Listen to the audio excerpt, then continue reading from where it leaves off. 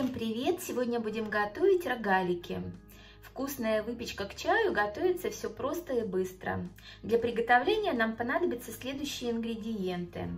Это одно яйцо, кефир, разрыхлитель, щепотка соли, сливочное масло, растительное масло, сахар, пол чайной ложечки соды, мука и пакетик ванильного сахара. Э, ваниль добавляйте по желанию. Если не любите, то можно не добавлять. Вместо ванили можно также добавить цедру апельсина или корицу. Вместо кефира можно добавить сметану или йогурт.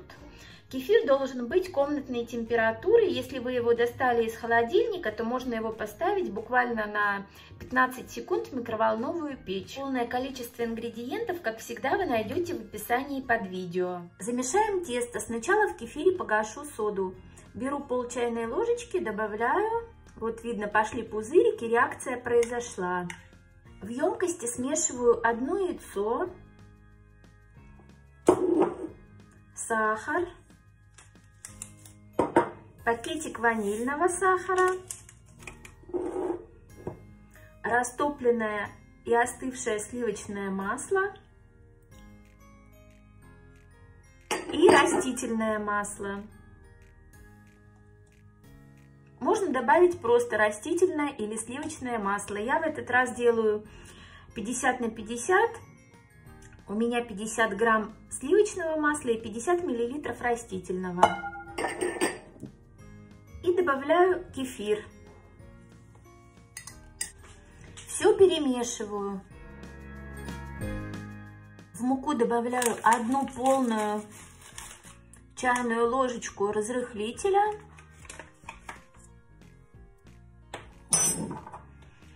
Щепотку соли.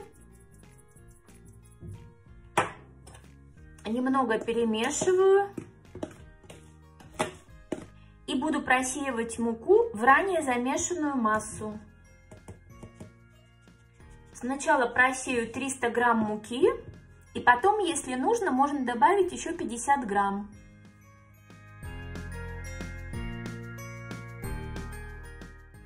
Сначала перемешаю все венчиком. Вот я вижу, что муки еще недостаточно, просеиваю еще 50 грамм конце я вам укажу полное количество муки, которое мне понадобилось. Руки для удобства немного сбрызгиваю растительным маслом. Припыляю стол мукой, выкладываю тесто на стол и буду вымешивать руками. Долго вымешивать это тесто не нужно. Когда все соберется в комочек, то все, тесто готово. Посмотрите, оно должно получиться эластичным и мягким. В общей сложности у меня ушло 350 грамм муки и немножко я присыпала стол. Посмотрите, какое красивое. Тесто собираю в колбаску и разделю колбаску на три равные части.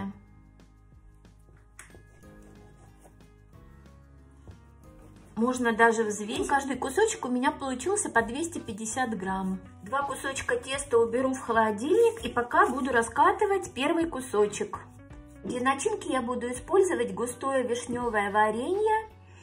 Если варенье у вас жидкое, то жидкость предварительно нужно удалить, либо используйте джем или повидло.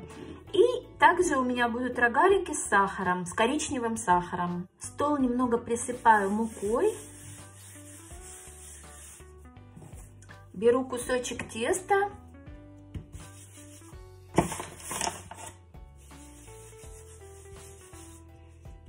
И буду раскатывать тесто круг диаметром примерно 25 сантиметров и толщиной 2-3 миллиметра.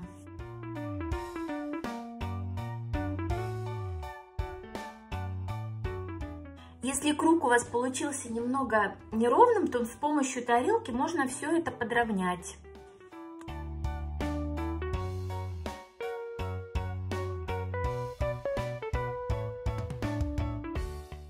Лишнюю часть теста убираем и потом тоже ее будем раскатывать Выкидывать мы ее не будем, ее тоже можно будет раскатать и сделать рогалики. Круг разделю на сегменты. Сначала на 4 части. И затем еще каждую часть на 2 части. На 8 частей. На каждую часть выкладываю одну чайную ложечку варенья. Можно использовать любое варенье, шоколад, сахар, вот как я, у меня будет коричневый сахар, можно обычно белый сахар тоже присыпать. Рогалики это печенье, в него не обязательно ложить начинку. Ну, с начинкой, конечно, получается намного вкуснее. Так, начинку мы выложили, и сейчас будем формировать рогалики. Начинку немного вот так защипляю, буквально немножко, чтобы она не вытекала у нас. Вот так. Немного прижимаю тесто в этом месте и скручиваю в такой как бы в рулетик. И выкладываю на подготовленный противень. Я предварительно выстелила противень пергаментной бумагой. Духовку поставила разогреваться на 180 градусов. И продолжаем. Немного защипляем и скручиваем. Такой рогаличек. Посмотрите, какая красота. И раскатываю следующий кусочек теста. И в этот раз у меня уже будут рогалики сахарные. С сахаром. С коричневым сахаром. Высыпаем на поверхность стола немного коричневого сахара. Сверху выкладываем кусочек теста. Раскатываю пласт теста прямо на сахаре.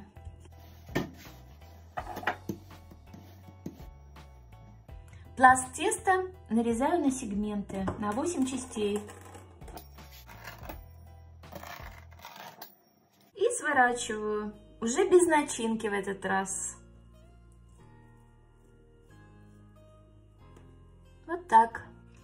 Ребенок не очень любит выпечку с начинкой, поэтому для него я делаю вот с сахаром и остальные с начинкой. Или, например, когда некогда, тоже можно сделать быстренько с сахаром, без начинки. Получится тоже очень вкусно. С болтанным яйцом не забываем смазать рогалики.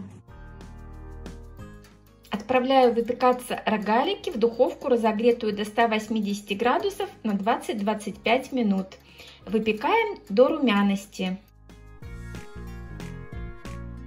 И отправляю взбекаться в следующий противень. Рогалики, которые мы делали с сахаром, смазывать яйцом не нужно. Рогалик и так получится немножечко вот такой карамелизированный за счет сахара. И если вы добавите яйцо, то получится такая карамель, все расплавится и все, ничего не получится. Поэтому учитывайте обязательно этот момент. С начинкой смазываем яйцом и с сахаром смазывать яйцом не нужно.